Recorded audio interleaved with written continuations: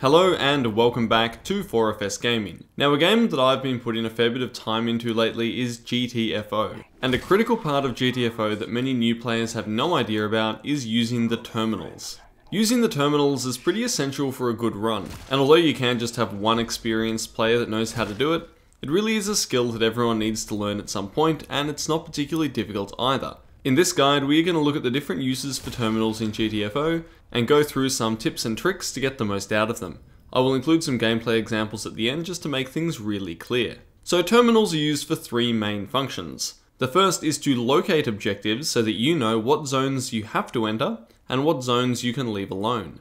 The second use is to list and locate items so you can regain your resources easily. The third use of terminals is only applicable in some expeditions, when they'll be needed to complete objectives by reading log files or activating special commands. Like every item, box, and room in GTFO, terminals have a number that can be seen here above the screen. This only comes into use for some expeditions. If you type in commands into a terminal, then you will get a list of all available commands for that terminal. As mentioned, some terminals, such as the reactor control in R3A3, have special commands, but this here will cover all of the basics that should be common to all terminals. The help command will bring up this information here, and it's mostly self-explanatory, but there are two handy hints. Pressing tab will autofill a command, so if I type in Q and then press tab, it will automatically enter query, because there's no other command that starts with Q. This is extremely useful when you have to quickly input commands under pressure or in combat, which sometimes you will have to do. You can also use the up arrow to cycle through previous commands that you've entered in the terminal, which is useful for similar reasons. The CLS command can be used to clear the screen to declutter it, which is pretty simple, and now we're going to get into the juicy stuff. So list. This is a crucial command that will show all items and inventory in the expedition. Now, on its own, it's not that useful because you'll have no idea where exactly those items are, just that they exist. What you can do is write down a specific zone after list, such as list zone underscore 250. This will bring up a list of only the items in the zone that you mentioned. You can do this to double check if you've missed any loot, or check if there might be decent items and resources behind a nearby door. The zone you are in can be found plastered all around the environment if you need to find it out, and it's even going to be written on your map. So once you have a list of items, you can then use the ping command to pinpoint exactly where it is by typing ping followed by the item you want to find. This will literally put a locator ping on that object for a few seconds. You and your squad will be able to see it, along with the distance it is from you. A handy trick here is to then use the map to locate its exact position because sometimes in larger zones or in foggy areas, even with a ping, it can be hard to find things. If you look in the direction of the ping and note the distance, you can then open up your map and measure out that distance pretty exactly.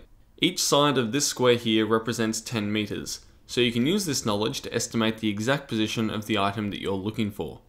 Now of course, the ping command will only work if the object is in the same zone as the terminal you are using. Sometimes it's the other way around, you will have the name of an object or objective, but you will not know where it is. In this case, you would use the query command. This simply tells you what zone you can find the object in. You can also use this after listing an entire floor to find a specific item. Once you get to the zone the object is in, then you can use the ping command to pinpoint its actual location. Then we have the logs command, which will bring up any logs on the terminal. In Rundown 3 and beyond, this has become a minor method of delivering lore about the game world in some cases, but it's also used in several expeditions as a gameplay mechanic.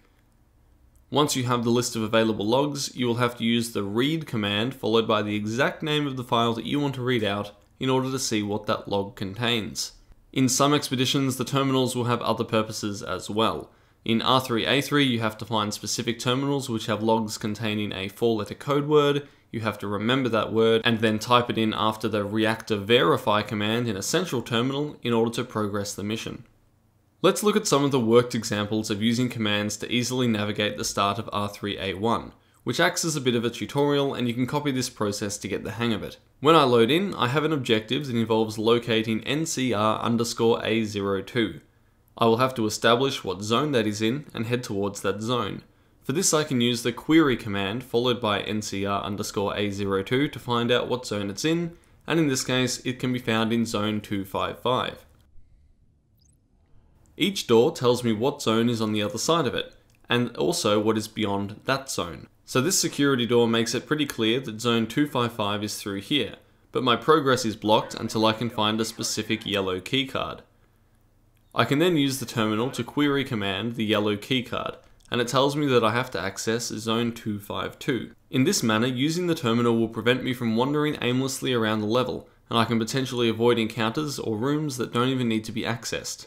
Before I move out, I can list the zone that I'm in to see if there's anything left around in terms of useful resources. By doing this, I see that there's a tool refill and a medipack that I can grab. This zone is very small, so I can find them easily, but in larger or fog-filled zones, I could ping those items so my teammates could pick them up, as mentioned earlier. I hope this overview of using terminals was helpful, and it's a really important skill to learn and not that particularly difficult to master either.